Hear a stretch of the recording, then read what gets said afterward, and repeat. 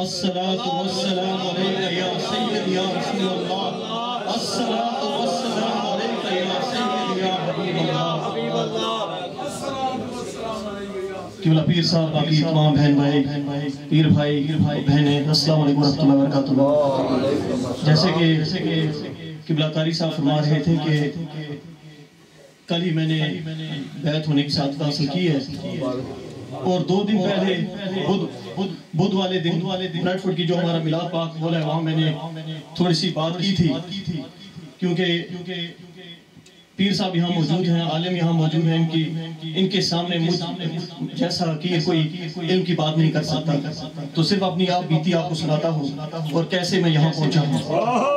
तो तो उस दिन मैंने थोड़ी सी बात की थी, अगर हज़रत साहब इजाज़त हो तो। मैं उस दिन बात कर रहा था कि गालिबन मार्च में अचानक ही अचानक उम्रे का प्रोग्राम बना जब मुझे पता चला कि हज़रत साहब जा रहे हैं उम्रे के लिए। तो मेरा भी साथ प्रोग्राम बन गया। बन गया। और और ये बात कल तक कल तक मेरे सिवा या जो आपके डंडी के हमारे डंडी के पीर भाई हैं जिनके साथ मैंने ये बात मदीना पाक में शेयर की थी। किसी को मैंने नहीं पता था। मेरी एहलिया को यहाँ तक ये बात पता नहीं था सिर्फ़ मेरे दिल में ये बात थी। कि मैं जा, जाऊँगा और ये दिल में तमन्ना थी कि वहाँ मदीना पाक में हज़रत साहब के हाथ में हाथ दूँगा। तो फिर वो प्रोग्राम ना बन सका। खैर खैर जब मैं जब मैं मदीना पाक से निकलने लगा तो ये दिल में एक बात थी एक तमन्ना रह गई थी।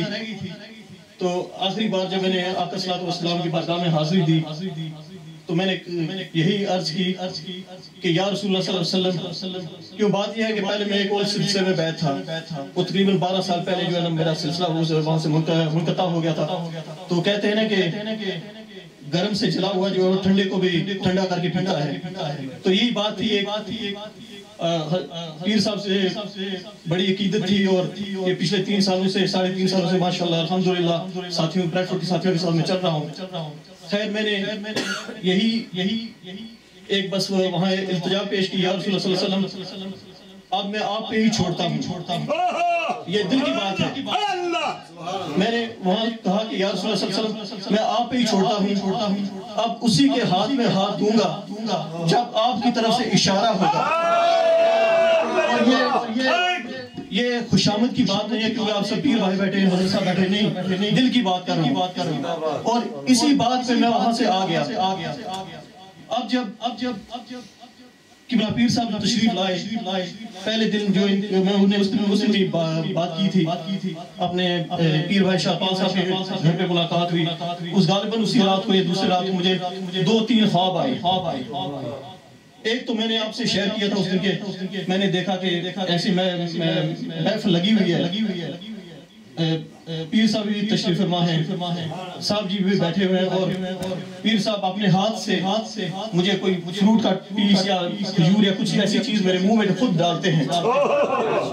और और एक और साहब जो मैंने आपसे शेयर नहीं किया था, वो हालाँकि उस वक्त मैं कोई किसी भी काफले के साथ में शामिल नहीं था।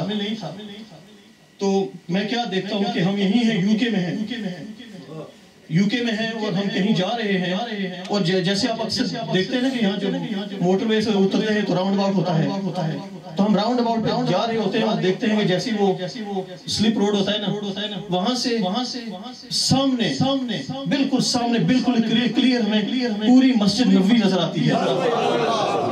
जब हम जब हम मस्जिद नबवी नज़र आती है आती है तो तो पीर साहब गाड़ी से निकलते हैं। निकलते हैं और और आप वहीं जो है ना, उसी जगह पे, सड़क के दरमियान आप दोजानू हो जाते हैं। हो जाते हैं और और जैसे कि वो तड़प होती है उस तड़प में उस तरफ़ सर झुकाकर आप बैठ जाते हो। जैसे कि हज़ारों कतार आप रोने लगते हैं लगते हैं। इस तड़प से जैसे वो इश्क होता है ना उसमें।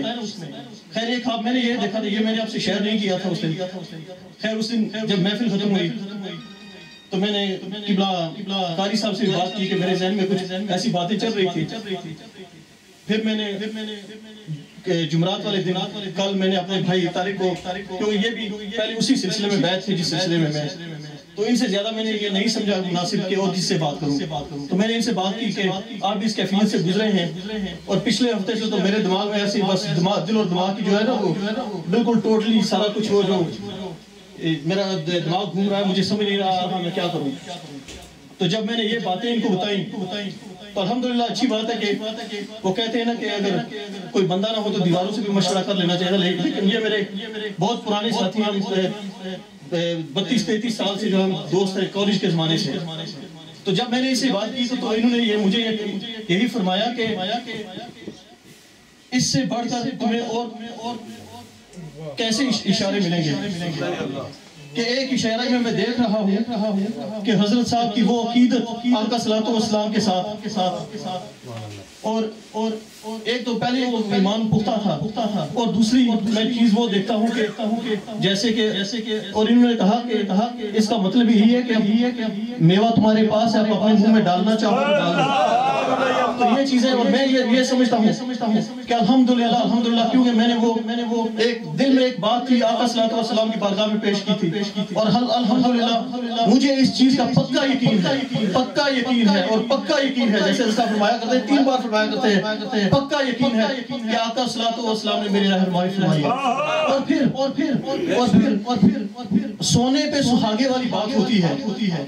सोने पे सुहागे वाली बात वो थी वो थी जो किबला कारी साहब ने साहब जी के बारे में जो इन्होंने सुनाई थी महफिल के आखिर में आखिर में। कि इन्होंने इन्होंने वो जो ख्वाब में देखा साहब जी के बारे में देखा और देखा और वो जो नूर वाला हाथ इन्होंने देखा और ये चीज़ें जो है ना ये सभी चीज़ें एक ही तरफ़ मुझे पुश कर रही पुश कर रही तो अल्हम्दुलिल्लाह अल्हम्दुलिल्लाह मैंने पहले भाई से कहा कि मैं इंशाल्लाह जुमे को जुमे मुबारक दिन होता है जुमे को मैं पीर साहब के हाथ में हाथ दूँगा। लेकिन फिर बाद में जब मैंने जब तारीख देखी कैलेंडर कल बारहवीं थी। तो मैंने कहा ये देखेंगे देखेंगे। देखेंगे 2001 में मेरा सिलसिला वहाँ से खत्म हुआ था ये समझ लें। ये समझ लें तो 12 साल के बाद एक वो 12 हो गया।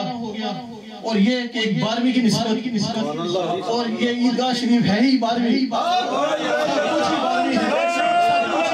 बारहवीं से बढ़कर कुछ नहीं है।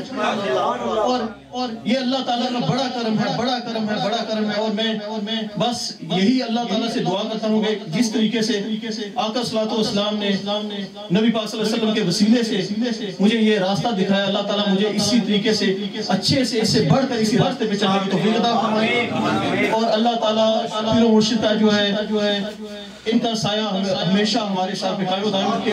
अल्लाह सुब्हाना हम सब की दुआएँ अल्लाह सुब्हाना दिन, दुगनी, रात चुगनी साहब जी की जो दर्जे बुलंद फरमाए। अल्लाह ताला हम सबको सही से दिन पे चलने और इनके हुक्म के मुताबिक ज़िंदगी गुजारने की तौफीक